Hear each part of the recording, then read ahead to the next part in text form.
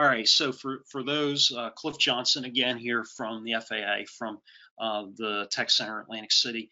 Um, next two topics are, are, somewhat related and, you know, I'll do them back to back, but um, the first one is more on ADSB data um, and, and some data mining and uh, gap analysis that we've been working on um, for a couple different mission segments that I want to uh, update the group on. Um, and then I'll talk a little bit about our, uh, our flight data monitoring work for um, the, you know, mainly in support of the ASIAS program, but uh, flight data monitoring in general uh, as well that you guys have seen uh, from me over the years. So let's see here, always hit the wrong button. So um, one of the things you can use ADSB data for is anomaly detection. That's what we were primarily looking at with uh, our work here. So um, the way you kind of do this in flight data records is traditionally, right, anomaly detection is based upon exceedance analysis, right? So parameter X, you know, does not exceed. For instance, an example might be uh, overbank, right? You, your bank angle exceeds 60 degrees, right? That's an event, right? That because that's an exceedant. You've exceeded the parameter, right? If you go beyond VNE, right? I mean, you never want to do that, right? But if you did on your airspeed, right, that's another exceedance, right? And so on and so forth. So you could you could you could go through any of these different kind of single or multiple parameter um, exceedances, right? And that's that's the traditional means, right? You monitor that parameter, weight, set a threshold.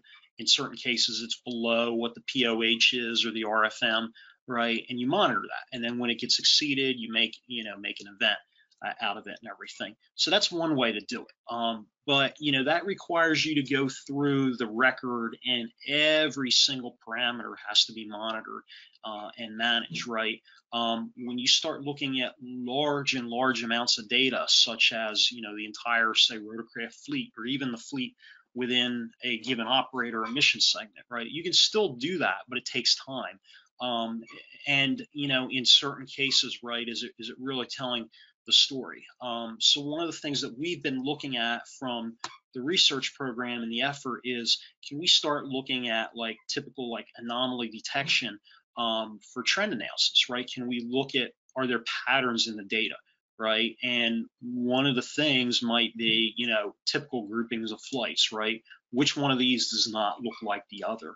Um, for instance, right, where things deviate from the normal routes. Um, and, and, this also has the benefit of helping the folks that we're working with identify what are their normal uh, routes, right? How are they being flown, right? Um, which can help in SOPs and different things as you go forward, right? So that's that's important. So we're looking at that aspect of things.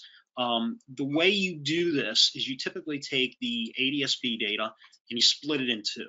Um, you know, there's the positional data that's important, right? The lat lon, and then there's the altitude data. Um, the altitude data tends to be a little bit noisier than um, the positional data, uh, and there's some reasons for that, and we'll talk about it. Uh, but essentially, what you do here is you transform it. So the FPCA stands for Functional Principal Component Analysis.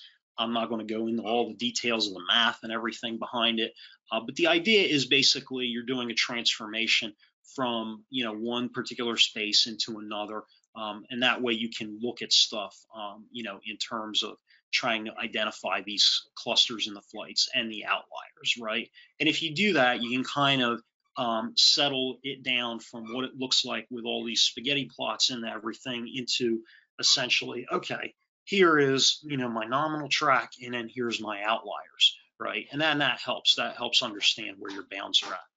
So we're going to talk about the method for that, how we've done that, and show some results for two communities.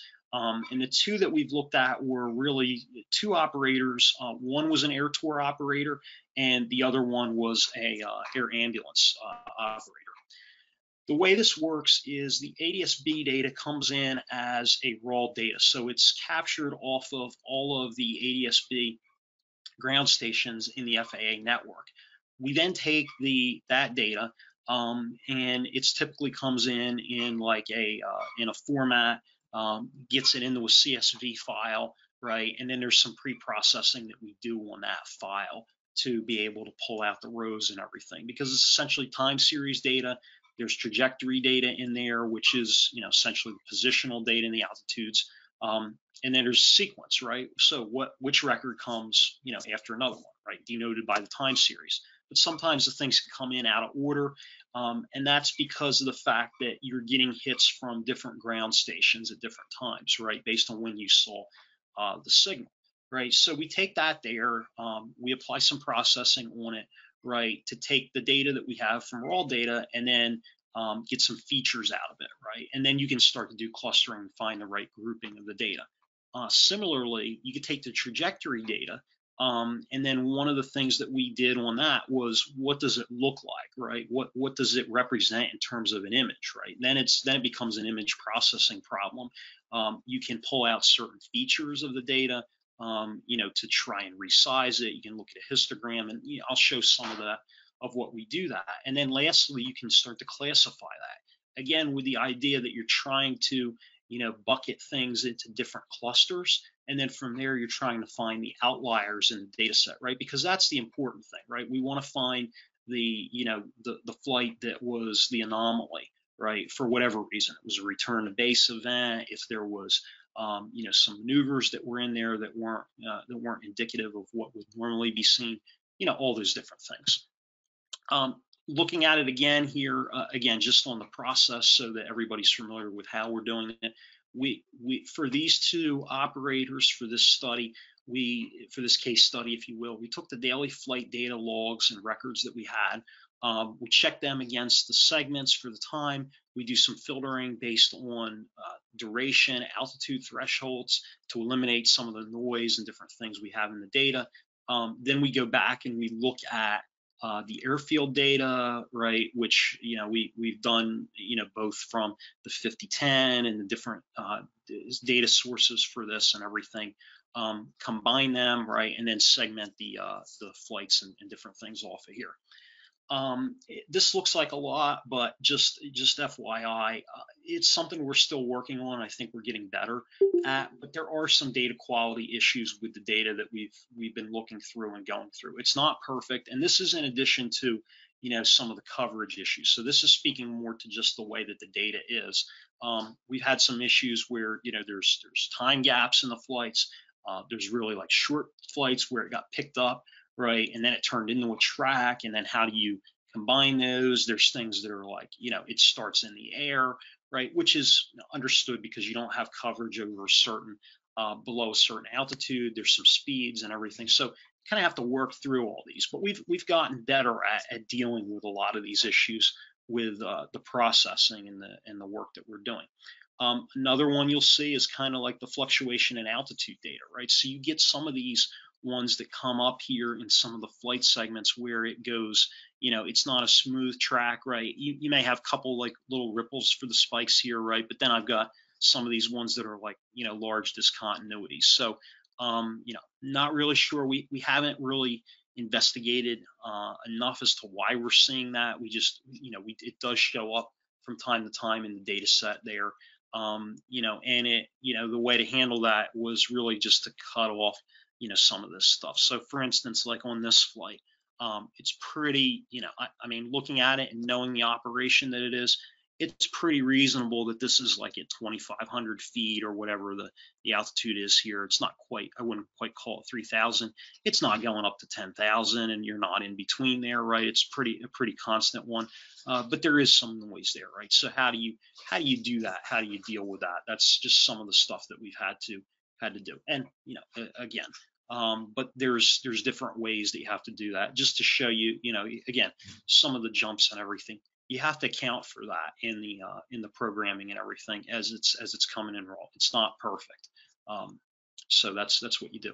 Um, the other one that we've seen as well, and some of the stuff has been duplicate helipads, and um, you know we worked with, um, you know, with with Dave um, you know, and I think Josh on, on some of this as well. They were very kind enough to provide some of the files of what they're what they're dealing with here, um, right? But some of these ones are, are, are labeled, you know, certainly in in you know certain location information, right? You know, like in the 5010 or whatever, but then they're labeled something else in in the other system. So again, just just being cognizant of that so that we're not overcounting or overfitting. So anyway, so so I'll talk about the two data sets that we had right now. And the first one was on the air tour side. So again, that was grouped by takeoff and landing sites, and we looked at a subset of data um, in in Hawaii, um, which was based upon you know about 365 flights. Um, and this shows on this screen kind of a sample set of uh, data from Honolulu to Ka Kalaeloa. Um, and as you see on here, there's you know the different ones at, at, the different locations, which were were sort of the destinations, and these kind of line up with a lot of the tour routes that um, the one operator we looked at were flying. You can again here see here's like the altitude plot, and then here's the smooth plot, um, and then here's uh, you know some of the other ones, and then here's how it kind of sh uh, shows out. There are subgroups that that occur if you actually um, you know go through this and you filter everything down um, you start to see these clusters that appear, that appear um, you know, regarding the duration of the flight, um, you know, flight duration in the area um, that you've gone over, um, you know, here. So, you know, essentially thinking of the distance, right? So, so within that subgroup, right, of uh, Hilo to Hilo, right, on the Big Island, right, there are uh, there are flights that go. Um, you know, in these, uh, you know, different areas, right? And then there's some other stuff that, that go back and, and forth there. Hilo being the largest one, right? But then there's other ones that correspond to other islands, right? It's not it's not a homogeneous data set, if you will, right? Even though there are certain patterns, right? There are, uh, you know, looking at this, there are things that that occur, and there are flights within, you know, certain things, which makes sense because of the distributed nature of the tours, right? So again, you can go through there. Here's a sample looking at, you know, what we see from altitude so one of the things you can look at here is you look at the altitude traces here of um, you know what's uh, you know what's typically being flown. And you can see what the what altitudes you know these are typically at.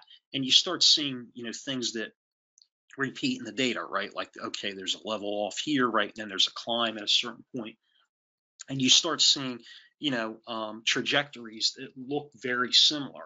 And you can apply some learning um, things to these, right? And then you can try to compare and say, well, okay, flight one is like flight two, is like flight three, is like flight four, right? Um, and then you can start grouping them that way. Um, this is helpful in the case where you may not know where the destinations are, where you're trying to say, hey, this looks like the signature of an air tour flight. Um, you know, per se, um, you know, there's certain things that that stick out at you, and you can you can do some statistical analysis doing it that way. Gets a little bit into like the image and pattern recognition, but um, kind of shows you what you're dealing with. You can do the same thing for position if you plot uh, latitude and longitude as well, right? You know, to overlay these tracks or to look at, you know, a segment of your track that you may want to look at. Um, this has come up here recently with some of the discussions that people have had over like overflights or things within, um, you know, certain areas. I, I, know, you know, the noise has been a big one, um, you know, with with certain areas and different things that you have. Um, so being able to see like what the tracks are of certain uh, things. Again, this is this is publicly available you know, ADSB, FAA surveillance data. Um, so, you know, it, may be able to uh, to help in that regard as well. Okay, there's also additional um, things from the uh, air medical data set that we've looked at, which is um, again, you know, our friends in Maine. you know, we we we looked at this one as well. So we had um, almost uh, 600 flights here that we were looking at in uh, in different groups, and you can start seeing how they how they break out here. And what happens is really that the compared to the air tour data set, your takeoff and landing sites are, are a little bit more distributed. They're not concentrated, you know, as much in say, you know, these, um, you know, five or six uh, heliports or airports. Um, you know, they're they're definitely more, and that that gets to the point that was made earlier today about the routing. You know, there's more routes that are out there as well. Um, so just as a highlight, we looked at this. We, we need to expand this now. Um, that we we did it, uh, you know, with the first set, but we looked at uh, three of the uh, the tail numbers um, with within. I guess it was, if I'm counting that right there, it's about like a uh, a nine month period um, there, and we came up with a total of uh, about 900 flights, about 1,600 flight hours Um, here's a visualization of what you can see with looking at this. Again, just a basic altitude plot of a, a, a you know kind of a sample flight here. Um, you know, this was a short one, only took about 18, 20 minutes, right? And then here's here's the route that was flown um, as well, and you can you can kind of see that based upon um, you know the latitude longitude track. Um, to get back uh, again, we also took a look and tried to explain or at least uh, validate what we were doing with um, in regards to the uh, top 10 routes that um, occurred for uh, for uh, you know for this operator for Life Flight of Maine essentially. Um, and then what we saw is that we, we pretty much were in, in alignment with the ones that Life Flight actually flies which is good. Um, but part of the problem was with some of the ADSB data um, you know, we couldn't conclusively say, you know, this was the 68 ME to say MEO2 segment. We realize it probably was, but just with some of the uh, segmentation in the ADSB. Now we're going back to look at that to see if we can clean that up and get that a little bit better. Um, it's something we need to go through, but it's at least a starting point, right? Um, so then this just shows you here um, on one of them, right? There's 68 flights, and here's here's all of them overlaid on the tracks and here's their altitude data. You can do the same thing here uh, for MEO2. And we tried to look at this based upon the routes that are flown and the routes that are coming up from, um, you know, the infrastructure work, just so that we could kind of help in the selection of what is the next route that needs to get prioritized um, as we go through. So we looked at that. We've looked at, um, you know, the, the, other stuff for MEO2. So again, I'm not going to uh, belabor it too much, but I just, uh, these are, you know, kind of the rest of the uh, the routes and the tracks, and you can see the, the same thing that we've done there. Um, so what are we doing in the future? So we have more work to do. We want to look at, which I didn't brief today, is we have another initiative um, which was started by Scott Terrell and uh, Lee Roskop out at the directorate um, to work with some of the participating operators and compare the ADSB flight hours to uh, what would essentially be like operator recorded uh, flight hours. So the stuff that goes into the GA survey, uh, right, with either Hobbs or tach time. Um, we want to look at some of the statistical analysis of the ADSB tracks compared to onboard data that is recorded, um, essentially like using like ForeFlight or other helicopters. Uh, that could help identify where some of these errors and things that we're seeing in the ADSB data is coming from um, you know, and potentially look at, hey, are we getting, you know, more of an authoritative, you know, onboard data source, which would be better uh, for analysis than the ground-based stuff. Um, we're also starting to look at space-based ADSB. Um, that may provide some additional insights. Not sure yet if the update rate or the coverage will be better, but you know, we we have our fingers crossed and we're hoping that it potentially could be. And then additional gaps in coverage, right, at low altitudes, right? We all know it's an issue. We get into terrain and masking. Uh, is there, can we identify where those coverage gaps are? Again, going back to, you know, what flight hours are flown.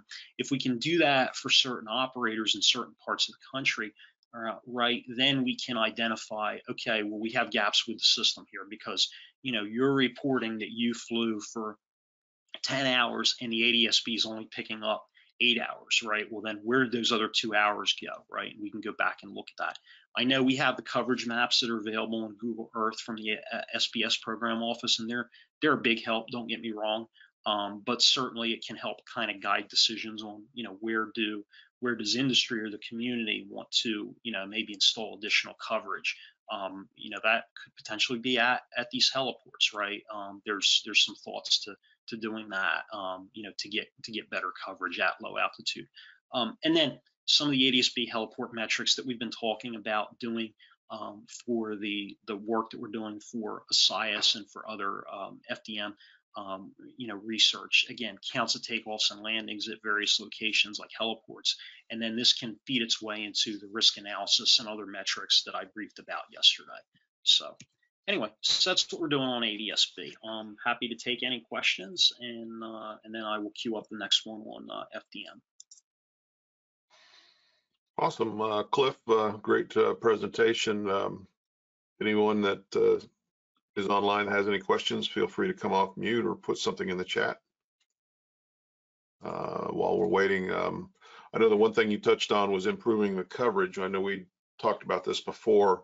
Is when you look at uh, doing that, is that something that would be done through the FAA or would that be a third party entity? Because I know that there are several applications that you can download today on your phone that shows you ADSB data with an overlay, um, FlightAware, Radar 24, and several others. Uh, but that's not something the FAA does. So in trying to get better coverage, if we were to get ADSB receivers at these heliports, um, who who would who would spearhead something like that, and um, how would that then connect? What would be the connectivity? That's a good question, Rex. Um, you know, I, I, mean, my personal opinion on it is um, there's been some talk and some discussion uh, with the FAA, like with the weather camera program and some of the ASOS and AWOS stations where they are putting um, some of those installations in place. Um, the and I don't know if anybody's on the call from the SBS program office or the ADSB office to correct me, but I think the current thinking, at least what I've seen, and there's been some precedents that have been uh, done for this, have been there's actually been encouragement of the community to put, um, you know, to you know fund these type of things if if they need better coverage in a certain area to uh, to work with uh, L3 Harris and either fund, you know, an installation or um, for folks to go out and, on their own and, you know, you can put your own, you know, receiver together um, and everything. Um, certainly, I mean, I wouldn't recommend, you know, doing that to get it into the, the network, but I think, you know, there are companies that could provide this service and uh, I, I, think you know we we always have concerns about some of the integrity and, and data quality of the signals that are coming in that are maybe not FAA certified equipment. But I think that can be uh, that can be mitigated in this this case, and certainly something I would want to would want to look at. Um, you know, because I think the more data and the better we can get into the system, you know, the better off we're all going to be. But there is there is limitations. I don't I don't see this as a as a program where, say, the FAA, just based on what I know from in the past and everything, is necessarily going to support, say, the installation of ADSB ground stations at every vertiport going forward for uh, helicopters and UAM. Um, but I do see kind of a path forward where um, maybe an industry provider steps up to fill that void. But that's just my thought. Now I see a, um, a question on our chat from uh, Joshua uh, Dixon said that will the third party receivers from uh, companies such as FlightAware or Flight Trek 24 fill that gap? Um, he makes a comment that they were giving them away a couple of years ago, and you, you, you talked about data quality, but I don't know, is yeah. that something that may happen? I, I, think it's worth exploring um, with some of these things. I think the thing to remember is the fact that there's there's been some hesitancy on um, behalf of the ADSB program to take um, in other data sources. They haven't really stopped uh, any individual from going out, creating your own receiver um, and using it. Um, I know that, you know, in the cases of like FlightAware and um, 24 Radar and some of those other ones, right, that data um, typically will come off of, say, the FAA. Uh, ASDI feed that goes out to industry, right? But then those companies put their own receivers out and, and do different things. So um, it gets into, and this is something we're, we're trying to look at, and we need to do, you know, kind of a one-to-one comparison for, you know, single helicopter um, on flights. And I, I, the only thing I really go back to is kind of what we did with our helicopter, as well as what I saw um, when we did some of the stuff with the tour ops guys. And that is that it's not, you know, it, it's good to an extent, right? But it's limited in in terms of some of your range and some of the uh, the signal uh, characteristics, right? And and maybe that's fine for right at a heliport, right? But it may not be sufficient if you're trying to traverse, you know, um, you know, eh, the far reaches of Maine, if you will, um, for certain things as you get into like you know issues with terrain and mountains and masking. So a long story short is I don't know, um, but I do know that there have been some issues with um, you know, with, you know, like receivers that are not of a certain quality before. Um, right. You know, so it's something we just would have to explore. Well, it's, it's, it's, um, yeah, how big is it? How do you connect it? How much does it cost? Where do you put it? You know, all those questions need to be uh, answered, but uh, we may reach out to L3 Harris and see if we can have that discussion and see if that's something, you know, the USHST can champion at some point down the road as well. I got one other question here from uh, our good friend Tom Judge um, asking, are, are you hearing concerns about 5G interfering with GPS signal and reliability? um, LightSquared issue is, is what he's yeah um, that's a good question tom um, actually not as much as you would think uh, on say the gps and the adsb um, but it has come up as a big concern for the radio altimeters uh, there was a rtca uh, study that was done um, and it led to a position paper uh, which actually was brought up when you know the uh, uh, I guess whatever it is, the, whichever 5G you know uh, network was brought up, or one of the things here recently, um, which I think the Spectrum auction, and that came up at, uh, particularly because there were some things that were identified in there um, where it could cause some interference, and you know we saw this years ago with our helicopter um, with one of the the technicians that was uh, doing an install, and um, we kept having a complaint from the pilots that every time um, they would fly, that the radio altimeters were going haywire. And we we did everything we could on this. We changed the radio altimeters, we changed the boxes, we changed the wiring, we changed the sensors, we we had all kind of stuff. Um, and then we finally found that one day what was happening was that the tech was working on something and he had his iPhone out. I think this was like iPhone six, seven or six or whatever it was, and it was uh, causing the radio altimeter to, to really go haywire, right? And he walked away and it, it went back to normal and then went back to it and then he saw it going as well now i don't know if that was you know maybe we didn't have something shielded right or correct but um and i didn't really think of it too much until we got you know back into the this 5g area so i think it is a concern uh, the gps not so much there are some additional concerns about gps um, in terms of security and everything that i, I think you know uh, you know gps jamming and spoofing um, but that's not necessarily a 5G issue. That's more of uh, you know just a, a general uh, kind of signals uh, problem. Okay. Um, I got one other question from Alex McIntosh. Um, can ADSB offset the need for heli safety ACT, TAWS, FDR, CVR? Uh, absolutely not. I don't think, in my opinion, um, they're different technologies. Um, you know, ADSB is is great uh, for what we have, and you know people use it all the time. The ADSB In for you know traffic avoidance and different things. Um, you know, but uh, but the TAWS system, you know, is using the terrain data. Now the terrain data might we might get to a point where maybe that's streaming and it's coming in via ADSB versus maybe some of the onboard uh, systems. If you could ensure good reliability and, and maybe the GPS you know works in real time to to kind of update what the terrain looks like and, and other obstacles and things. I, I could see that you know um, you know being a work, but as far as a, a replacement for FDM uh, you know and CVRs now, I mean you definitely need you know the cockpit uh, you know recording i believe to give you a picture of what's going on um, adsb doesn't transmit you know any of that information um, over the signal, um, not even you know kind of like what frequency we're on or anything. That's not uh, that's not part of the data set. Um, and when we get into everything like a flight data recorder, right, you want other information about the helicopter, and that kind of leads into my next briefing. But you want you want the torques, you want the engines, you want the rotors, you want uh, the GPS positions and different things.